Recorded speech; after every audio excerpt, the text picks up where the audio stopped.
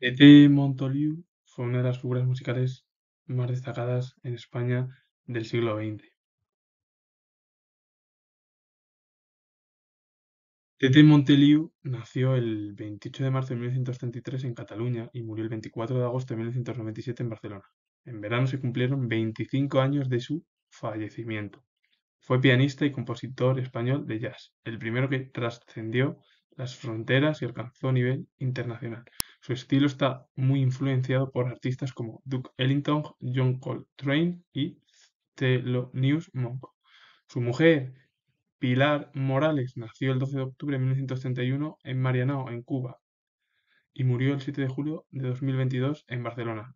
El otoño pasado se cumplieron 90 años de su nacimiento. Y Pilar Morales ha fallecido hace poco, en verano.